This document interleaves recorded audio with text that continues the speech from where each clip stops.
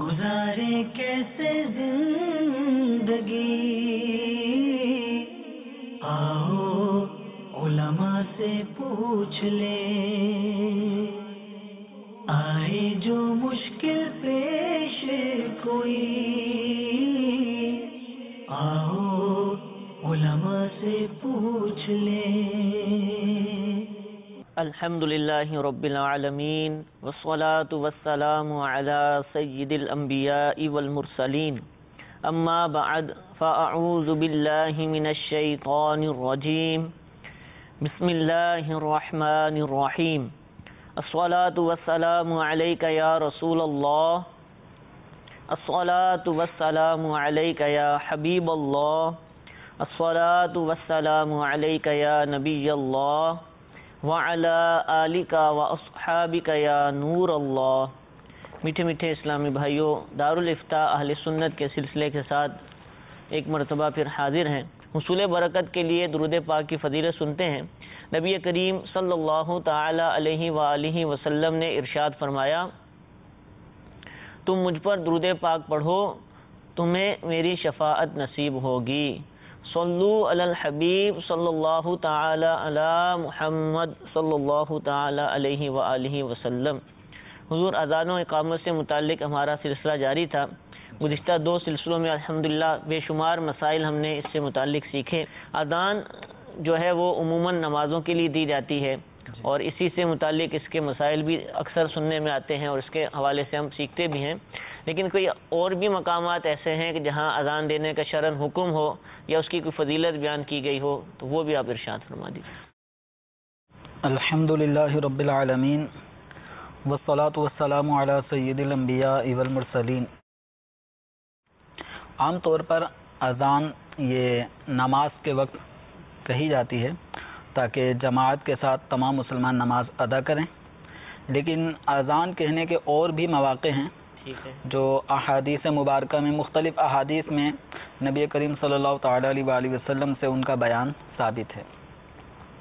ان میں سے چند ایک مقامات جو فقہ کرام نے ایک مقام پہ جگجا جمع کر کے ارشاد فرمائے ہیں ان میں سے ایک یہ ہے کہ جب بچے کی پیدائش ہوتی ہے تو اس وقت اس کے سیدھے کان میں اذان کہی جائے۔ ایسے ہی کوئی شخص غم زیادہ ہے مغموم ہے کوئی رنج و غم اس کو لاحق ہو چکا ہے رنجیدہ بیٹھا ہے تو ایسے مغموم پریشان غمگین شخص کے کان میں بھی اذان کہی جائے۔ اچھا اس کے کان میں بھی دی جائے یہ تو خود نبی کریم صلی اللہ تعالی علیہ وآلہ وسلم نے مولا کائنات حضرت علی المرتضی کرم اللہ تعالی وجہ الکریم کو ارشاد فرمایا تھا کہ آپ اذان سنیں۔ اسی طرح مرگی کا دورہ بھی کچھ لوگوں کو پڑ جاتا ہے تو ایسے مرگی کے دورے کی حالت میں کسی ایسے مریض کو اذان اس کے کان میں کہی جائے۔ ایسے ہی غضبناک اور بد مزاج آدمی اس کے کان میں بھی اذان کہی جائے کہ اس سے اس کا مزاج ٹھنڈا ہوگا۔ اللہ کا نام لیا جائے گا۔ اور اسی طرح غضب جو ہوگا وہ غصہ بھی راحت میں تبدیل ہونے کی صورت بنے گی۔ ایسے بعض جانور بھی ایسے ہوتے ہیں جو بد مزاج ہو جاتے ہیں۔ یعنی جو سنبھالنے میں نہیں آ رہے ہوتے بدک جاتے ہیں تو ایسے جانوروں کے کان میں بھی اللہ تعالیٰ کا نئے نام اذان کی صورت میں کہا جائے سنایا جائے۔ بھینس وغیرہ رکھی ہوئی ہے جی جس طرح جانور ہوتے ہیں تو بسا کا تو بدک جاتے ہیں قابو میں نہیں آ رہے ہوتے تو ان کو بھی اذان ان کے کانوں میں سنائی جائے۔ ایسے ہی لڑائی جب شدت اختیار کر جائے تو مسلمان آپس میں لڑ رہے ہیں تو ایسے موقع پہ اذان کے کلمات ان کو یعنی اذان کہی جائے تاکہ وہ لڑائی کی شدت ختم ہو جائے لڑائی میں رکاوٹ پیدا کرے گی اذان۔ اسی طریقے سے کہیں اللہ نہ کرے آتش زدگی کا معاملہ ہو جائے، آگ لگ جائے، تو ایسے موقع پر اسی طریقے سے میت کی تدفین کے بعد بھی اذان کہنا مستحب ہے۔ اسی طرح بسوں کا کچھ لوگوں کو جن کے اثرات ہو جاتے ہیں، آسیب ہوتے ہیں، تو جن بسوں کا سوار ہو جاتا ہے۔ تو بظاہر تو آدمی ہوتا ہے، لیکن اس کی زبان پہ، اس کے حرکات و سکنات، وہ جنات کے تابع ہو جاتی ہیں۔ تو ایسے موقع پر جس پر جن کی سواری آ گئی ہو، تو ایسے شخص کو بھی اذان سنائی جائے۔ اسی طریقے سے جنگل میں جو رستہ بھول جائے اور کوئی بتانے والا نہ ہو تو یوں اللہ تبارک و تعالیٰ کا نام اذان کی صورت میں ایسے گم شدہ آدمی کو چاہیے جو رستہ بھول گیا کہ وہ اذان کا انشاءاللہ کوئی نہ کوئی صورت منزل تک پہنچنے کی بنے گی۔ جنگل کی تخصیص تو نہیں ہے نا؟ مطلب یہ کہ رستہ بھول گیا سفر کر رہا ہے اور رستہ بھول گیا شہر کے اندر بھول شہر کے اندر بھی ہو سکتا ہے۔ تو ایسے میں بندہ اذان کے کلمات دہراتا رہے۔ تو انشاءاللہ کوئی نہ کوئی رستہ ملنے کی سبیل بنے گی۔ اسی طریقے سے وبا کے زمانے میں کوئی بیماری پھیل گئی۔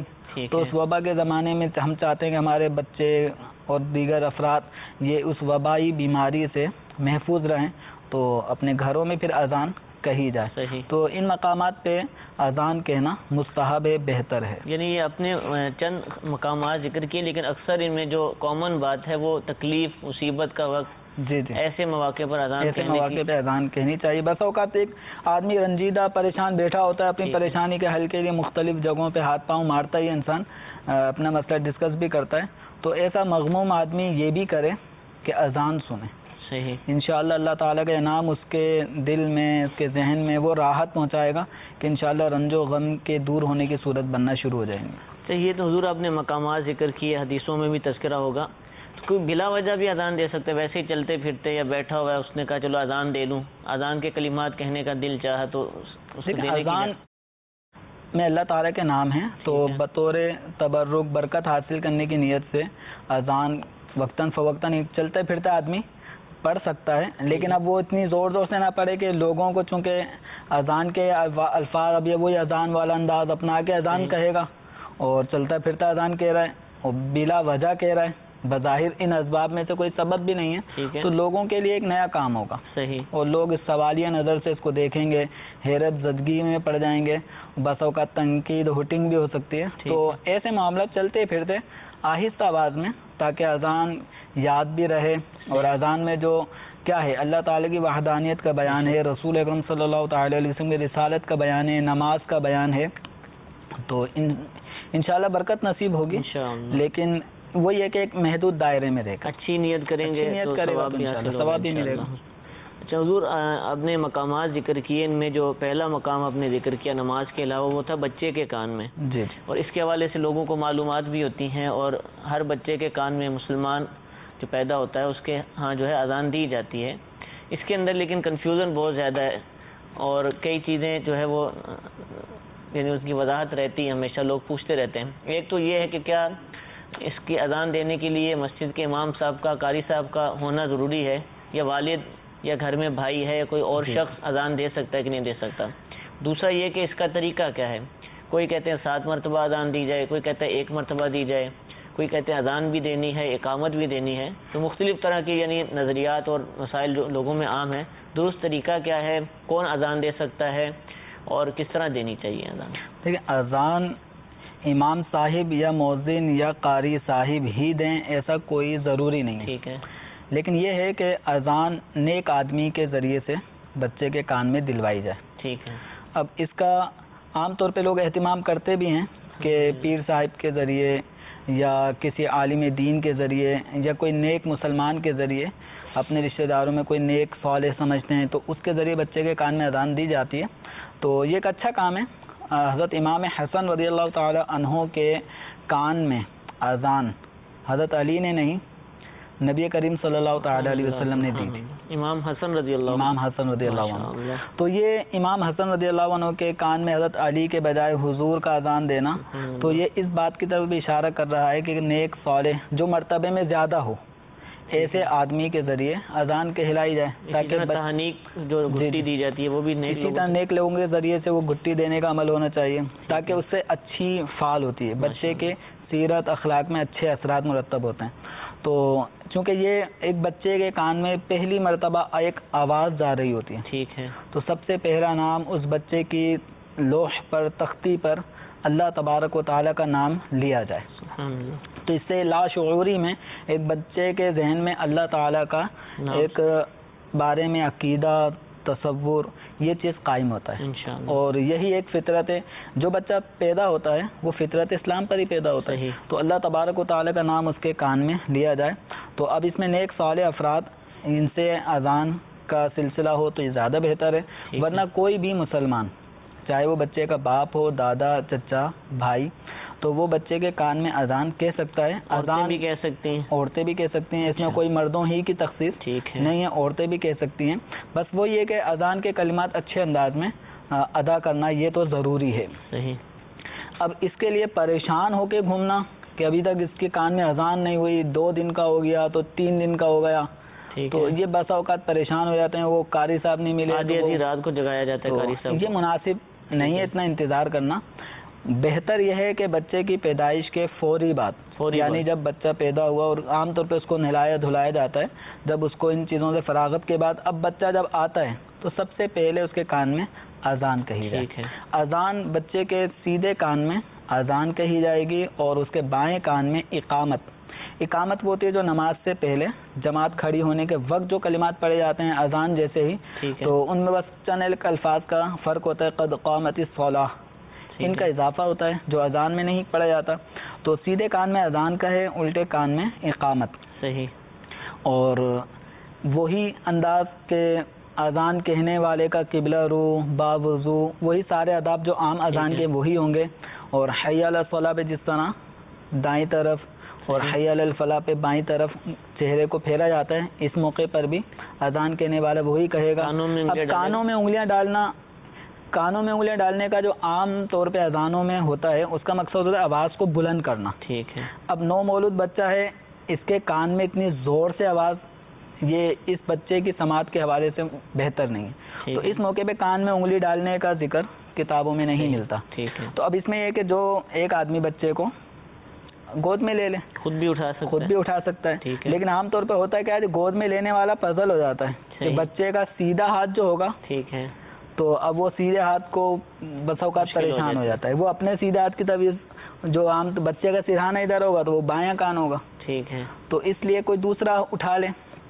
یہ اذان آرام سے کہہ سکتا ہے۔ تو چار مرتبہ اذان کہنا یہ مستحب ہے تین مرتبہ اقامت کہی جائے۔ ٹھیک ہے۔ چار مرتبہ اذان تین مرتبہ پہلے۔ اذان اقامت اذان پہلے اذان اذانیں دے دیں؟ پہلے اذان کہہ لے چار مرتبہ اس کے بعد میں تین مرتبہ اقامت۔ ٹھیک اور ایک ایک مرتبہ بھی اذان اور اقامت کہہ لی تو بھی کافی ہے۔ صحیح صرف ایک اذان کہی یا صرف اذان اذان اور اقامت کی تب بھی کام چل جائے تب بھی درست ہے۔ یعنی اذان ہو جائے گی اس میں یہ ہے کہ انتظار کرنا اور امام حضرات کو دو دو تین تین بجے اٹھانا اس کے بجائے آپ خود ہی جب آپ باپ بننے والے ہیں آپ کو باپ بننے کی خوشی ہے۔ صحیح۔ تو اذان کے یہ کلمات بھی آپ سیکھ لیں۔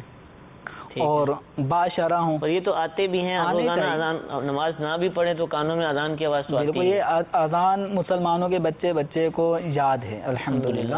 تو بہتر ہے کہ نیک صالح افراد سے کہی جائے۔ اگر ان تک رسائی ابھی ممکن نہیں ہے تو ایسی صورت میں بچے کے کان میں اذان باپ جس کو بھی آتی ہے وہ اذان کہہ لے اور بائیں کان میں اقامت کہہ یہ لے کہ فوراً دے دی جائے بس اوقات یہ ہوتا ہے بچہ وینٹیلیٹر پہ چلے جاتا ہے۔ اب اس میں دو دو گھنٹے چار گھنٹے پانچ گھنٹے دن بھی لگ جاتے ہیں۔ تو ایسی صورت میں آپ ریکویسٹ کر کے یہ کر سکتے ہیں۔ عام طور پہ داخلہ ممنوع ہوتا ہے عام افراد کا۔ لیکن اگر یوں ان سے درخواست کی جائے کہ اس کے کان میں اذان دینی ہے تو وہ بھی مسلمان ہیں منع نہیں کرتے۔ ٹھیک ہے۔ تو اذان جس کے ذریعے دلوانی ہے اس کو وہاں پہ لے جائیں اور۔ وہ بچے کو آئی سی یو وغیرہ جہاں پر بچہ ہے تو وہاں پہ اس کے کان میں اذان اقامت کہہ سکتا ہے وہ۔ ٹھیک ہے جزاک اللہ اور اذان کے کلمات سیکھنے ہوں اذان کے حوالے سے دیگر مسائل سیکھنے ہوں بچے کے کان میں اذان دینے کے حوالے سے بھی۔ تو امیر علیہ سنت کا بہت ہی پیارا رسالہ فیضان اذان جس کے بارے میں اکثر آپ سنتے رہتے ہیں جو الگ سے بھی دستیاب ہے۔ اور امیر علیہ سنت کی کتاب نماز کے احکام کے اندر بھی رسالہ الحمدللہ موجود ہے اس کتاب کو، اس رسالے کو حاصل کیجیے انشاءاللہ اس کے علاوہ بھی بہت سارے مسائل سیکھنے کا موقع ملے گا۔ حضور اذان کے مقامات بھی ہم نے سنے اور بالخصوص بچے کے حوالے سے جو زیادہ لوگوں کو حاجت ہوتی ہے، وہ بھی ہم نے سنا۔ اب یہ اذان دینے کا حکم تھا کہ اذان دی جائے۔ اس کی فضیلت بھی ہے اذان دینے کے حوالے سے کوئی یا پھر صرف اعلان کے لیے ہے یا حکم ملا اس لیے ہم دے رہے ہیں۔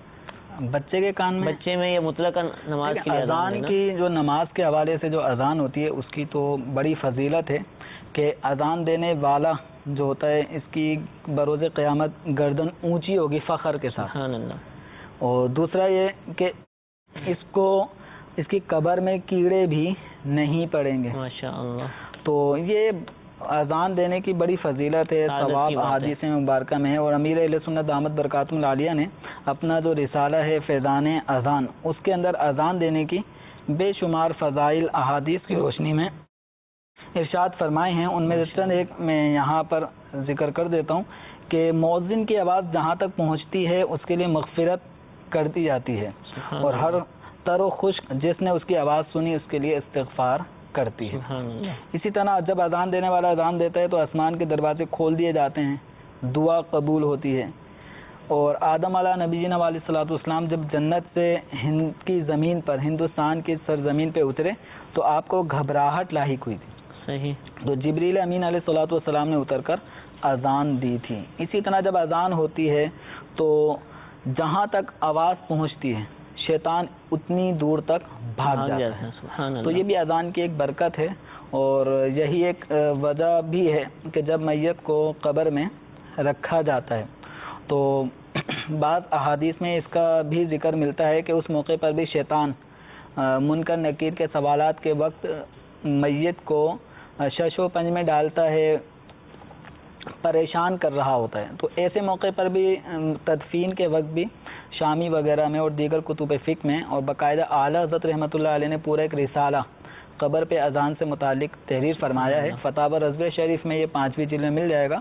تو اس میں بھی ایک جہاں اور دیگر فضائل ہیں برکتیں ہیں۔ اس میں سے ایک برکت یہ بھی ہے کہ جب میت کی تدفین کا وقت ہوتا ہے تو میت کی گھبراہٹ کا وقت ہوتا ہے۔ سب اس کو چھوڑ کے اب چلے جائیں گے۔ چاہے دن کا وقت ہو تب بھی قبر میں تو اندھیرا ہی ہوتا ہے۔ ایک تو اندھیری قبر میں پھر تنہا پھر منکر نکیر کی آمد، تو یہ ساری ہیبتیں، وحشتیں یعنی یہ ایسا وقت ہوتا ہے۔ اور اس موقع پر شیطان مزید آ کر بعض روایتوں کے مطابق بندے کو گھبراہٹ میں اور مبتلا کر دیتا ہے۔ سوال جواب کی ادائیگی میں دشواری پیدا ہوتی ہے، تو اذان کا جو فائدہ ہے کہ جہاں اذان کہی جاتی ہے، وہاں سے شیطان بھاگ جاتا ہے۔ تو یوں اس موقع پر جب میت سے سوال جواب ہونے کا وقت ہوگا اذان کہی جا رہی ہوگی۔ ایک تو اذان کی برکت سے گھبراہٹ دور ہونے کی امید ہے شیطان کے دور ہونے کی امید ہے۔ پھر دوسرا اذان میں وہ سب باتیں موجود ہیں جو منکر نکیر کے سوالات کے جوابات۔ جوابات بھی ہوں گے۔ کہ من ربو کا؟ تمہارا رب کون ہے؟ تو وہ اشہد اللہ الہ الا اللہ۔ صحیح۔ کہ میں گواہی دیتا ہوں اللہ کے سوا کوئی معبود نہیں۔ ایسے ہی ماں دینوں کا؟ تیرا دین کیا ہے؟ تو حی علی الصلاح حی الفلاح یہ نماز کی۔ دعوت یہ دین اسلام میں یہ روزانہ سنتا تھا۔ صحیح۔ اسی طریقے سے ما کنت تقول فی حق حاضر رجل نبی کریم صلی اللہ تعالی علیہ وسلم کا چہرہ زیبا اس کے سامنے ہوگا پوچھا جائے گا ان کے بارے میں تو کیا کہتا تھا؟ اشہد ان محمد رسول اللہ میں اس کی یاد دہانی ہے۔ تو اذان کے جو کلمات ہیں اس میں منکر نکیر کے جو سوالات ہیں ان کے جوابات بھی پوشیدہ ہیں۔ پوشیدہ نہیں بالکل ظاہر ہیں۔ بالکل۔ اور اذان کی برکت سے شیطان بھاگے گا وحشت یہ دور ہوگی۔ سوالات منکر نکیر کے جوابات بھی اس میں موجود ہیں۔ اور مردہ سنتا بھی ہے۔ سبحان یہ اہل سنت و جماعت کا عقیدہ۔ جو قرآن و احادیث سے ثابت ہے کہ مردہ سنتا بھی ہے۔ ٹھیک ہے۔ حتیٰ کہ بخاری شریف کی روایت کا مضمون ہے کہ آنے والوں کے نالین چپلوں کی آہٹ بھی مردے کو سنائی دیتی آوازیں آتی ہیں۔ تو بالکل جب وہ سب اتنا سنتا ہے تو ایسے موقع پر باقاعدہ احادیث میں تلقین میت کا بھی ذکر ہے کہ جس میں باہر تدفین کے بعد باہر میت کو مخاطب کیا جاتا ہے کہ اے فلاں بن فلاں یاد کر تو کس عقیدے پہ تھا؟ تو وہ ساری باتیں مردے کو جو کہی جا رہی ہیں وہ سنتا ہے۔ ٹھیک۔ تو اذان بھی سنتا ہے اس کے جوابات بھی اس کو مل جائیں گے۔ امید ہے یہ سب باتیں۔ امید ہیں باقاعدہ سراہتاً کہ اذان حضور صلی اللہ تعالی علیہ وسلم نے۔ قبر پہ دی ہو سراہتاً اس کا ذکر تو نہیں ہے لیکن جو اذان کے فضائل برکات فوائد ہیں وہ میت کے لیے بھی الحمدللہ ہیں تو اس کو۔ بھی ان سے فوائد حاصل ہونے کی امید ہے ماشاء اللہ اللہ تعالی ہمیں قبر کی وحشتوں اندھیروں سے محفوظ رکھے ہماری قبروں کو منور فرمائے اور مرتے دم تک ایسے لوگوں کی صحبت عطا فرمائے کہ جو ہمارے مرنے کے بعد اذان کے معاملات کریں ہمارے جو میت کے حقوق ہوتے ہیں وہ پورے کریں اور تلقین وغیرہ کے معاملات اور اصال ثواب کا بھی سلسلہ جاری رہے۔ اس کے لیے دعوت اسلامی کا مدنی ماحول ہم سب کے سامنے ہے۔ نیک لوگ الحمدللہ اس مدنی ماحول کے ساتھ وابستہ ہیں۔ نیک لوگوں کا ماحول ہے۔ اس ماحول سے وابستہ ہو جائیں گے تو یہ برکتیں بھی انشاءاللہ مرنے کے بعد ہمیں بھی انشاءاللہ ضرور حاصل ہوں گی۔ ہمارے پاس کچھ کالز بھی موجود ہیں ان کو شامل سلسلہ کرتے ہیں۔ یہ جی۔ پہلی کال سنائیے۔ میں قمر ناخوبہ سے بول رہا ہوں۔ اور میرا مفتی صاحب کی برگاہ میں یہ سوال ہے کہ اقامت کتنی آواز سے پڑھنی چاہیے؟ جی انشاءاللہ عرض کرتے ہیں۔ یہ ایک اور کال سنائیں۔ میرا تاری عرض کر رہا ہوں متحدہ عرب امارات سے۔ میرا سوال یہ ہے کہ سجدہ سو کا طریقہ ارشاد فرما دیجیے اور دوسرا سوال یہ ہے کہ جیسے امام اور معتدی میں زیادہ بادشرہ اگر معتدی ہے تو پھر امام کے پیچھے نماز پڑھنا کیسا؟ جی انشاءاللہ ضرور عرض کرتے ہیں۔ ایک اور کال سنائیے۔ میرا مفتی صاحب کی خدمت میں یہ سوال ہے کہ نماز پڑھتے ہوئے بندے کو خوف خدا کی وجہ سے آنکھوں سے آنسو آ جائیں یا آپ صلی اللہ علیہ وسلم کی محبت کی وجہ سے دونوں صورتوں پر کیا نماز پر کوئی فرق پڑ سکتا ہے؟ جی ضرور عرض کریں گے۔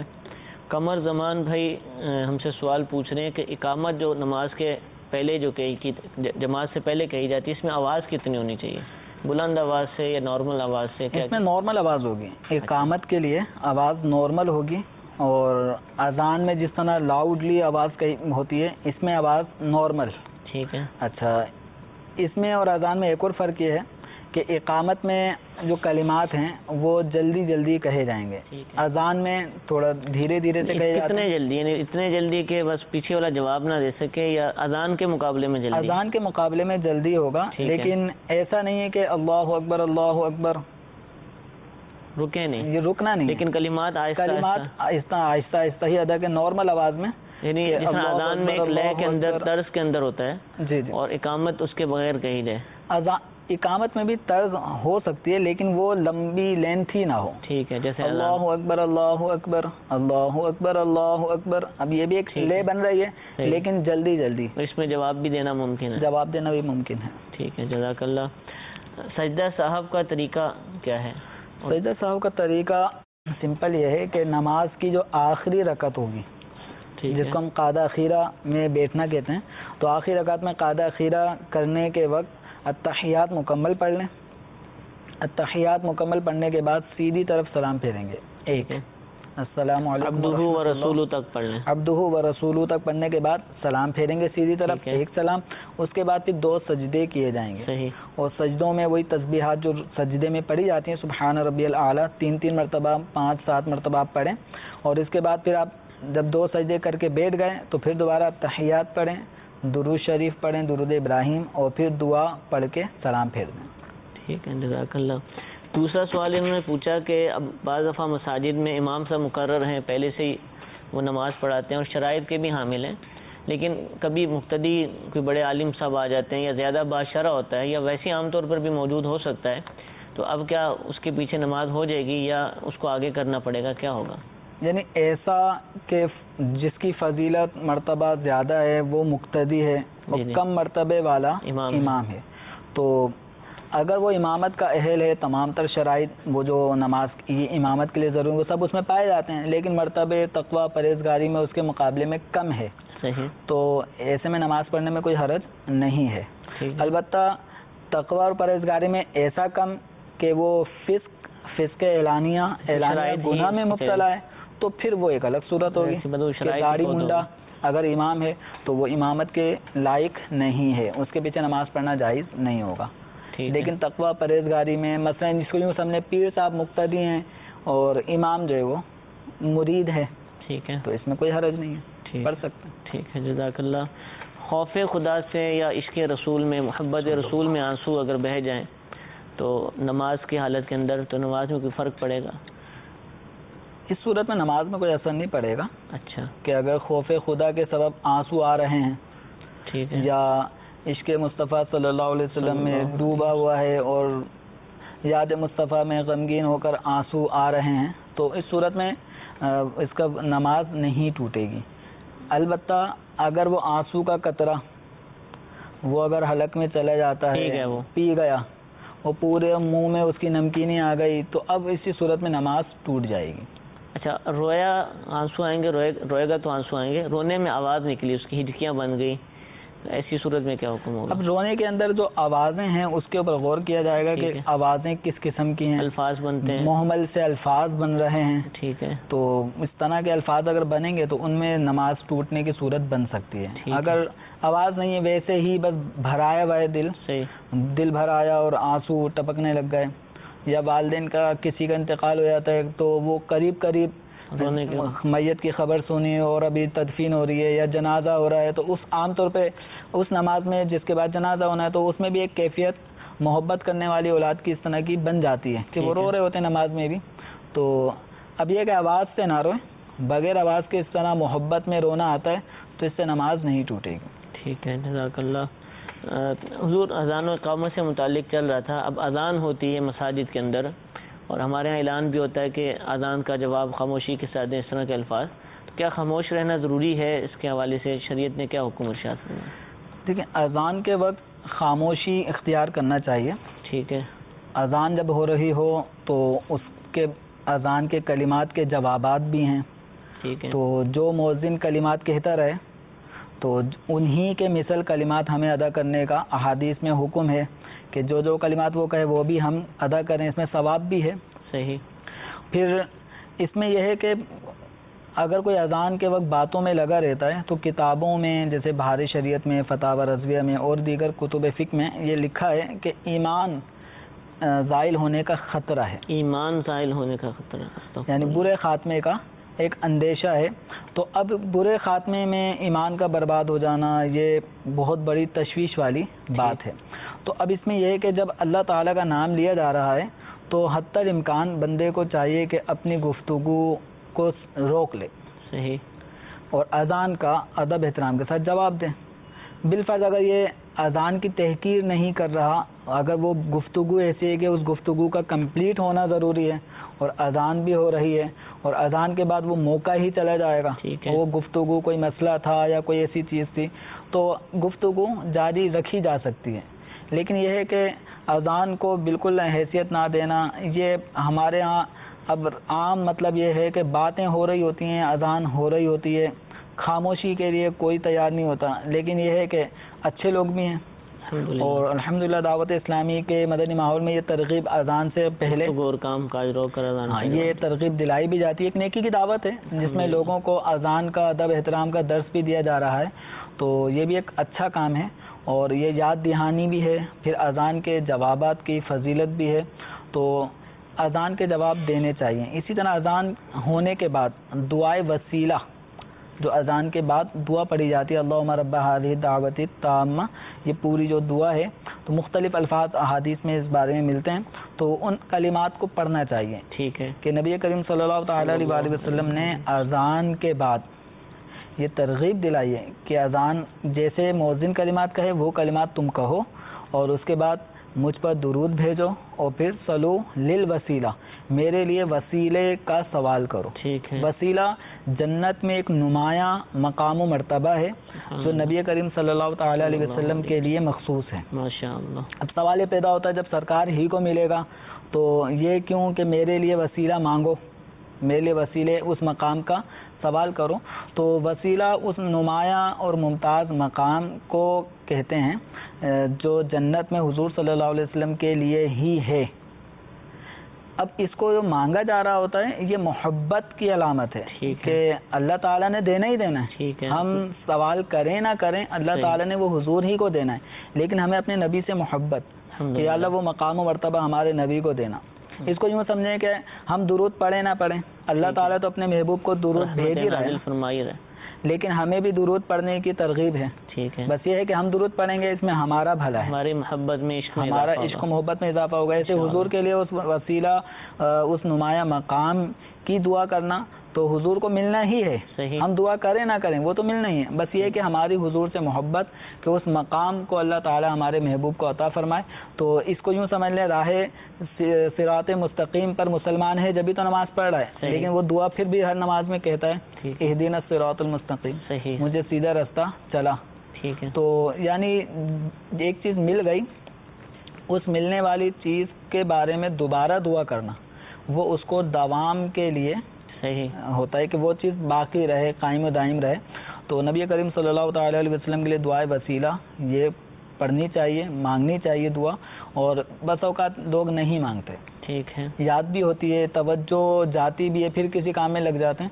تو توجہ کے ساتھ اس دعا کو بھی پڑھنے چاہیے کہ انشاءاللہ پڑھیں گے تو اس دعا کی برکت بھی ملے گی شفاعت اس میں مانگی جاتی ہے۔ جنت کا سوال ہے اور دین پہ استقامت کا سوال ہے۔ صحیح۔ تو اللہ تبارک و تعالی ہم سب کو عشق رسول عطا فرمائے آمین، اور آمین۔ اذان کے جوابات اچھے انداز میں دینے کی توفیق عطا فرمائے۔ آمین آمین۔ حضور اذان کے بعد اقامت کہی جاتی ہے جماعت کے لیے عموماً ہوتا ہے یہ۔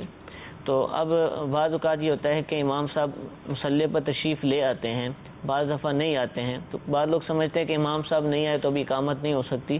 تو کیا ٹائمنگ کیا ہونی چاہیے؟ کیا ضروری ہے امام صاحب کے لیے؟ یا بغیر امام صاحب کے مسلح پر آئے بھی اقامت ہو سکتی ہے۔ امام صاحب کا اقامت کے وقت مسلح پر ہونا یہ کچھ ضروری نہیں ہے۔ ٹھیک ہے۔ نہ یہ فرض ہے نہ واجب ہے نہ سنت بلکہ فتح مجدیہ میں فرمایا گیا مستحب بھی نہیں ہے۔ اچھا مستحب بھی نہیں ہے۔ یعنی کوئی اس اس کی کوئی ان معنوں میں کہ یہ واجب ہو یا سنت ہو یا مستحب ہو تو امام مسجد میں ہو یا مسلح پر ہو، تو یہ کچھ ضروری نہیں ہے۔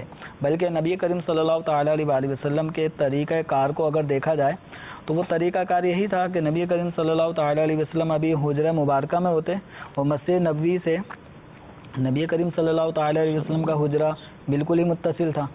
جس مقام پر روزہ اطہر ہے، وہ مقام سرکار صلی اللہ تعالیٰ علیہ وسلم کا حجرہ تھا۔ اور وہ مقام جس کو ہم ریاض الجنہ کہتے ہیں، وہ مقام مسجد نبوی کا وہ مقام تھا۔ تو نبی کریم صلی اللہ تعالیٰ علیہ وآلہ وسلم اس وقت اپنے حجر اقدس سے تشریف لاتے تھے کہ جس وقت حضرت بلال رضی اللہ تعالیٰ عنہ جب حی علی الصلاح حی علی الفلاح کے الفاظ کہہ رہے ہوتے تھے۔ تو نبی کریم صلی اللہ تعالیٰ علیہ وسلم اس وقت تشریف لاتے۔ تو اب یہ ہے کہ ایک تکبیر پہلے ہی شروع ہو چکی ہوتی۔ تھی۔ اور سرکار صلی اللہ تعالیٰ علیہ وسلم حی علی الصلاح، حی علی الفلاح کے قریب قریب تشریف لا رہے ہوتے تھے۔ تو اس سے یہ معلوم ہوتا ہے کہ امام کے مسلح پر ہونے، نہ ہونے کا کوئی فرق نہیں ہے۔ اگر وہ مسلح پر ہے، جائے نماز پر ہے، تو بھی ٹھیک ہے۔ جائے نماز پہ نہیں ہے، اقامت اس کے اسی حالت میں بھی کہی جا سکتی ہے۔ اب اس میں یہ ہے کہ عام طور پہ یہ تو تھا نفس مسئلہ کہ ضروری نہیں ہے شرن اگر وہ وہاں پہ نہیں بیٹھا ہوا تو کوئی سنت فوت نہیں ہو رہی کوئی مستحب ترک نہیں ہو رہا۔ لیکن عام طور پہ لوگوں میں جب کلش چل رہی ہوتی ہے۔ صحیح۔ امام صاحب اگر مسلح پہ نظر نہیں آتے تو بڑی حیرت والی نگاہوں سے پیچھے مڑ مڑ کر دیکھا جا رہا ہوتا ہے۔ ٹھیک ہے کہاں چلے گئے امام؟ کہاں چلے گئے؟ آئے ہیں نہیں آئے۔ تو یہ تشویش میں لوگ پڑے ہوتے ہیں بس اوقات پھر باتیں بن رہی ہوتی ہیں۔ کہ امام صاحب یہاں مسلح بیٹھتے نہیں ہیں اور پھر نمازی پھر مسجد کمیٹی وہ امام کے خلاف اس چھوٹی سی بات پہ مطلب بڑا سا ایشو لے لیتی ہیں۔ تو یاد رکھیں کہ یہ امام پہ ضروری نہیں ہے کہ وہ جائے نماز پہ مسلح پر تکبیر کے وقت موجود ہو لیکن لوگوں میں چونکہ باتیں بنتی ہیں تو ان باتوں کا بننا بھی تو اچھا نہیں ہے۔ صحیح۔ تو بھائی یہ کہ فتنہ کھڑا ہو سکتا اگر آپ کو لگتا ہے کہ میرے نہ ہونے سے فتنہ کھڑا ہو جائے گا تو فتنے کو دبانے کی نیت سے آپ اقامت کے وقت پہلے سے ہی مسلح پر جائیں نماز پر بیٹھ جائیں تو اس میں مطلب لوگوں کی زبانیں بھی بن رہیں گی۔ اور پھر یہ کہ لوگوں کو یقین بھی رہتا ہاں امام صاحب ہیں اور وقت پہ ہی اقامت ہو رہی ہی ہے جماعت بھی ہو رہی اور امام صاحب ہی پڑھائیں گے۔ تو یہ بہت ساری اس میں بھلائیاں بھی پوشیدہ ہیں۔ تو اب چونکہ زمانہ اب ویسا نہیں رہا تبدیلیاں آتی رہتی ہیں لوگوں کی نیچر حالات واقعات تبدیل ہوتے رہتے ہیں تو اب لوگوں کو یہ مسئلہ سمجھانا کہ امام کا مسلح پر ہونا ضروری نہیں ہے۔ تو اس میں بھی بہت سارے ہمارے بوڑھے حضرات آڑے آ جائیں گے کہ ہم تو ساٹھ سال سے دیکھتے آئے ہیں۔ ہم پچاس سال سے دیکھتے آئے کہ امام جب تک مسلح پہ نہیں ہوتا اقامت ہی شروع نہیں ہوتی۔ یہ نئے نئے امام آ گئے اور یہ نئے نئے مسئلہ شروع کر دیا۔ تو مسئلے نئے نہیں ہیں ہم نئے ہیں۔ صحیح۔ مسئلے پرانے ہی ہیں۔ ٹھیک ہے۔ وہ یہی ہے کہ امام کا مسلح پر ہونا اقامت کے وقت ضروری نہیں ہے۔ اگر وہ نہیں ہے اس وقت بھی اقامت کہی جا سکتی ہے۔ ہاں جب اقامت ختم ہو تو امام مسلح پر آئے اور نماز شروع ہونے میں اور اقامت میں تاخیر نہ ہو۔ صحیح بس اتنا امام کو اپنی ٹائمنگ کو ایڈجسٹ کرنا اس کی پابندی اس کو کرنی چاہیے۔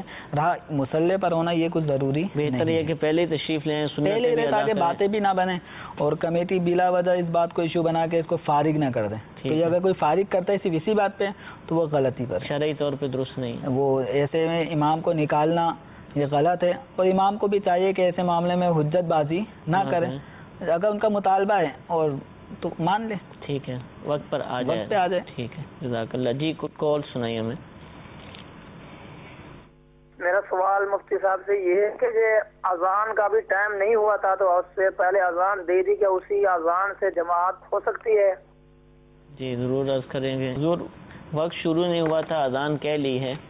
تو اب کیونکہ اذان تو ہوتی ہے مائک پر تو اب دوبارہ کہیں گے تو لوگ بولیں گے دو دو اذانیں ہو رہی ہیں۔ تو کیا اسی اذان سے جو ہے وہ جماعت کروا لی جائے؟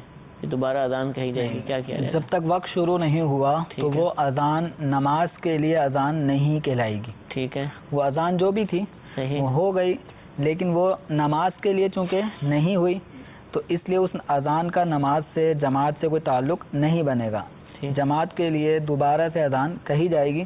اب لوگ اگر کہیں گے کہ انہوں کہا دوبارہ اذان کہہ رہے ہیں تو کوئی ایسا مسئلہ نہیں لوگوں کو بتا دیں کہ فجر کا وقت یا کوئی سی نماز کا وقت اس ٹائم شروع ہوتا تھا یہ اذان جو پہلے ہوئی وقت سے پہلے ہوئی تھی لہذا وقت شروع ہونے کے بعد یہ اذان دوبارہ کہی جا رہی ہے۔ لوگوں کو مسئلہ بھی پتہ چل جائے گا۔ اور وہ جو تشویش ہے اذان دینے والے کو کہ لوگ کیا کہیں گے تو لوگوں کو ہم مسئلہ بتا دیں گے تو لوگ آپ کو کچھ بھی نہیں اگر چند منٹ ہی کا فرق ہے تو پھر وہ بغیر مائک کے کہہ دی جائے کیونکہ لوگوں کو پتہ تو چل گیا کہ اذان ہو گئی ہے۔ اس کا اعتبار نہیں ہے۔ اچھا اس کا جو پہلے اذان اگر مائک پہ کہی گئی ہے اس اذان کا اعتبار ہی نہیں ہے جماعت کے اعتبار لیے۔ تو اب نئے سرے سے اذان کہی جائے گی۔ اب اس کا مائک پہ ہو جائے۔ چونکہ اصل ہے کہ مائک پہ ہونا اس میں آواز دور تک پھیل جاتی ہے۔ تو مائک پہ بھی کہی جا سکتی ہے اور اذان کا جو اصل مقصد ہے وہ۔ بلند جگہ پر لوگوں کو اعلان کرنا۔ تو۔ پچھلا جو اعلان تھا وہ اعلان کافی ہاں، نہیں ہے۔ تو اب۔ دوبارہ اعلان کہنے کی کرنے کی حاجت ہے۔ تو مائک پر بھی دی جا سکتی ہے۔ اور بغیر مائک کے بھی کسی اونچی جگہ پہ دی جا سکتی ہے۔ لیکن ایک لوگوں کو مسئلہ بھی تو پتہ چل جائے گا نا اس برکت۔ سے کہ اگر آپ نے پہلے وقت سے پہلے اذان دے دی اور اب وقت بعد میں شروع ہوا تھا تو اب دوبارہ اذان کہنے سے پہلے مسئلہ بھی بیان کر دیں۔ شرمائے نا مسئلہ بیان کرنے سے لوگوں کی وہ تشویش بھی دور ہو جائے گی مسئلہ بھی معلوم ہو جائے گا۔ ٹھیک ہے جزاک اللہ۔ حضور آخری سوال اور یہ بہت زیادہ لوگوں میں اس کے حوالے سے بھی تشویش پائی جاتی ہے۔ بہت ساری باتیں ہوتی ہیں۔ کہ حضرت سیدنا بلال رضی اللہ تعالیٰ عنہ مؤذن رسول صلی اللہ علیہ وسلم اذان کہتے تھے اور اذان کا جب بھی تذکرہ آتا ہے تو ان کا تذکرہ ضرور آتا ہے۔ تو اب یہ کہا۔ جاتا ہے کہ ایک مرتبہ یعنی ان کو اذان سے روک دیا گیا تھا اور وجہ کیا تھی کہ ان کے تلفظ درست نہیں تھے۔ یہ کوئی روایت ہے؟ ایسا معاملہ ہوا تھا؟ کیا ہے اس حوالے سے؟ اس طرح کی کوئی روایت نہیں ہے۔ ٹھیک ہے۔ عام طور پہ لوگوں میں مشہور یہی ہے۔ صحیح۔ کہ وہ اذان کے کچھ تلفظ درست نہیں تھے صحابہ نے حضور کی بارگاہ میں عرض کیا تو حضور نے ان کو منع کر دیا تو فجر طلوع ہی نہیں ہو رہی تھی صبح جی جی۔ صادق کا وقت ہی نہیں ہو رہا تھا جی۔ پھر حضرت بلال نے جب اذان کہی تو پھر صبح صادق کا وقت ہوا تو اصل دیکھیں یہ حضرت بلال رضی اللہ تعالیٰ عنہ کی محبت اور ان کے مقام و مرتبے میں لوگوں نے اس واقعے کو بیان کرنا شروع تو کر دیا ہے لیکن کتابوں میں ایسی کوئی بات صنعت کے ساتھ صحت کے ساتھ موجود نہیں ہے۔ صحیح۔ بلکہ نبی کریم صلی اللہ تعالیٰ علیہ وآلہ وسلم کے یہ صحابی حضرت بلال رضی اللہ تعالیٰ عنہ کے بارے میں یہاں تک مذکور ہے کہ حضرت بلال رضی اللہ تعالیٰ عنہ سفر حضر یعنی سفر کی حالت میں بھی اور مدینہ منورہ میں رہائش کی حالت میں بھی اب سرکار مدینہ میں ہوتے ہیں۔ یہ حضور صلی اللہ تعالیٰ علیہ وسلم کی مثال۔ ظاہری تک مؤذن رہے ہیں سبحان اللہ ان کے بعد جب صدیق اکبر رضی اللہ تعالیٰ عنہ کا دور خلافت آیا تو اس وقت تک بھی جب تک صدیق اکبر کا وصال نہیں ہوا اس وقت تک حضرت بلال رضی اللہ تعالیٰ عنہ مؤذن ابو بکر بھی رہے ہیں۔ اچھا یعنی ان کے دور خلافت میں بھی حضرت بلال اذان دیتے رہے۔ ہیں تو حضرت بلال کو اذان سے معزول کرنے والا جو واقعہ لوگوں میں مشہور ہے کہ ان کے تلفظ درست نہیں تھے اور اذان نہ دینے کی بنا پہ صبح صادق نہیں ہوئی جب انہوں نے اذان کہی تو صبح صادق ہوئی تو ایسی کوئی بات روایتوں میں نہیں ملتی تو کسی بھی ہستی اور شخصیت کا مقام و مرتبہ بیان کیا جائے لیکن جو احادیث میں جو قرآن میں جو واقعات ہیں ان کی فضیلت سے تعلق۔ رکھنے والے انہی کو بیان کیا جائے۔ ٹھیک ہے۔ کوئی بھی ایسا کوئی واقعہ بغیر صنعت کے بغیر حوالے کے جو عوام میں رائج ہے جب تک اس کی علماء سے باقاعدہ حوالے کے ساتھ کوئی ثبوت نہ ملے اس وقت تک بیان نہیں کرنا چاہیے۔ تو یہ اذان کے حوالے سے حضرت بلال رضی اللہ تعالیٰ عنہ کو معذول کرنے والی بات یہ درست نہیں ہے بلکہ حضرت بلال رضی اللہ تعالیٰ عنہ وہ ہستی ہیں کہ جب سرکار صلی اللہ تعالیٰ علیہ وسلم نے خواب حضرت عبداللہ بن زید رضی اللہ تعالیٰ نے خواب میں جو اذان کے کلمات سنے تھے جب حضور صلی اللہ تعالیٰ علیہ وسلم کی بارگاہ میں آ کر ان کلمات کو پیش کیا تو نبی کریم صلی اللہ تعالیٰ علیہ وسلم نے حضرت بلال کا انتخاب فرمایا۔ سبحان اللہ سبحان اللہ۔ فرمایا کہ ان کی آواز بلند ہے یہ کہیں گے۔ تو اگر حضرت بلال کے تلفظ غلط تھے درست نہیں تھے تو ان کا انتخاب کیوں ہوتا؟ اتنا عرصہ جو اذان ہوتی رہی۔ اور اتنا عرصہ جو اذان ہوتی رہی کسی بھی کتاب میں ایسی کوئی روایت کے صحابہ نے اعتراض کیا ہو کہ ان کی اذان صحیح نہیں ہے تو شین ادا نہیں ہوتا؟ عام طور پہ لوگ جی جی۔ شین اور سین میں ہی بتاتے ہیں کہ حضرت بلال سے شین ادا نہیں ہوتا تھا۔ تو اشہدو کو وہ اشہدو پڑھتے ہوں گے۔ تو ایسا کچھ بھی نہیں ہے۔